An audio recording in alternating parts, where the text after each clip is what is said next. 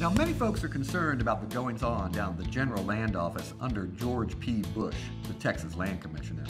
Unfortunately, George P. seems to be under the impression that Texas lands are his lands for political advancement. Case in point, the Alamo. When it came time to protect our history at the Alamo, George P. fired the Daughters of the Republic of Texas, who tended to our heritage for over 100 years. He then formed secret nonprofits that an audit found were mismanaged and lacked transparency. George P. was forced to resign from the Alamo Trust.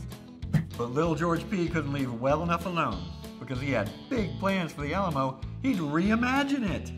Hey, George P., the Alamo definitely doesn't need reimagining. But that's not all George P. couldn't handle as land commissioner.